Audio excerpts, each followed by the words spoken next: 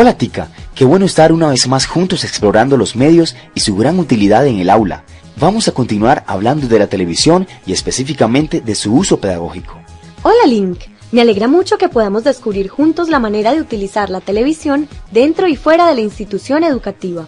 Tica, a mí también me entusiasma mucho seguir profundizando sobre el uso pedagógico y didáctico de la televisión educativa. Así que vamos a continuar.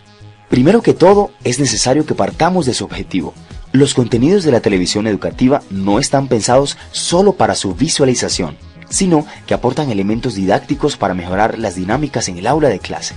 Mmm, claro, no como algunos contenidos que solo son de entretenimiento y la audiencia tiene una actitud pasiva.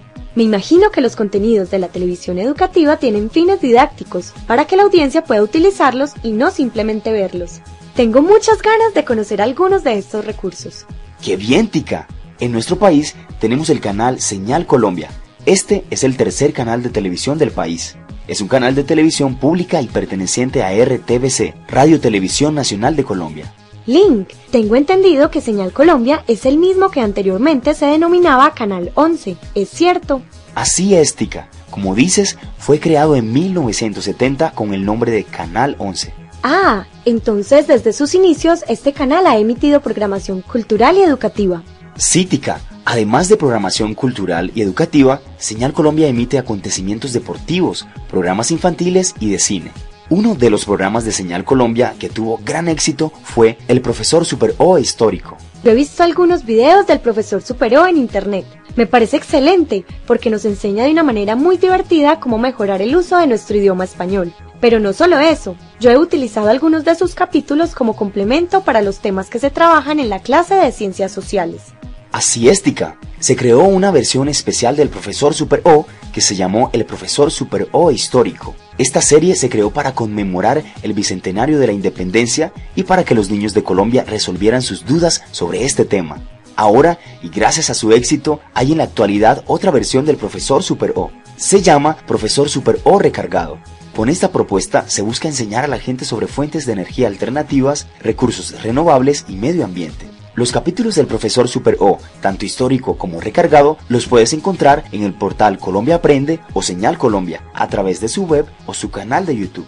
¡Qué bien, Link! Ahora no solo podré utilizar este material para apoyar mis clases de lenguaje y ciencias sociales, sino también las de ciencias naturales y educación ambiental. Eso es muy cierto, Tica. Otro recurso en el que puedes apoyarte es el micrositio de televisión educativa que tiene el portal Colombia Aprende.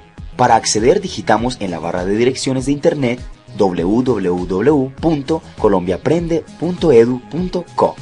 Una vez allí, desplegamos Centro de Recursos y seleccionamos Mediateca. Ahora, en las opciones de la parte derecha de la pantalla ubicamos EduSitios y hacemos clic en la opción TV Educativa. Sí, Link.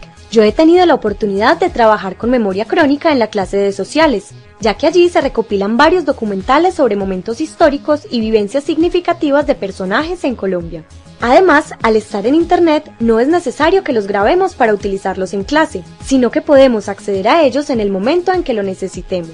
Así es, Tica. En los diferentes programas encuentras no solo el capítulo, sino que se proporciona un resumen, el tema principal y los objetivos del recurso audiovisual. Esto es de gran ayuda para los docentes al momento de planear actividades con los estudiantes.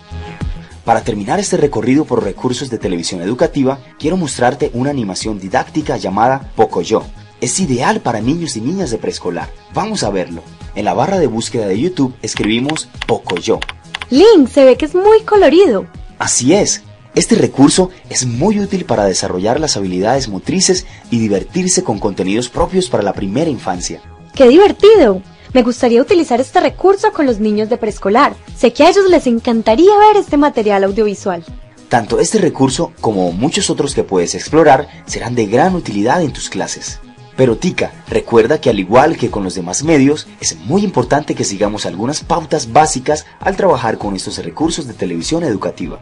Por ejemplo, es muy importante revisar la calidad de los contenidos y ver si son adecuados según el contexto de trabajo, si apoyan el desarrollo de competencias y si enriquecen los contenidos a trabajar.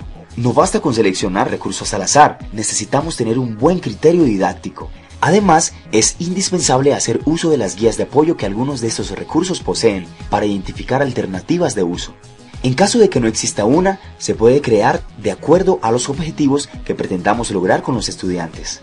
Sí, Link, eso es cierto. La televisión educativa es un excelente medio para utilizar en la escuela y apoyar los procesos de enseñanza y aprendizaje.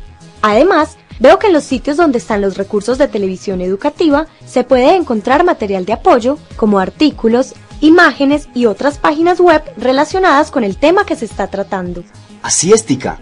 Ahora debes llevar todo este conocimiento a tu institución y compartirlo con tus compañeros docentes para que todos puedan orientar el aprendizaje en las diversas áreas curriculares de manera más dinámica y creativa. Nos vemos más adelante para seguir construyendo conocimiento y enriqueciendo las actividades dentro y fuera del aula.